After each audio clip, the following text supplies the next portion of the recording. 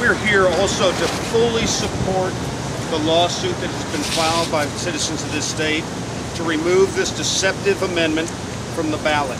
As the legislature has done us a great disservice to the voters of this state, these plaintiffs have done a great service by protecting and defending voters. And I want to make sure that we know we welcome the opportunity to debate this openly. If they want to put an honest title on the ballot, that would be just great. But we can't do it with deceptive language where it's hidden halfway in the bill. It's been said recently that some of the legislators don't even know this is in the bill. If the legislature thinks they need to double the length of their term, write an honest ballot title. If the legislature thinks that voters were wrong in two landslide elections, have the courage to say so. Don't hide it on page 16 of an unrelated amendment.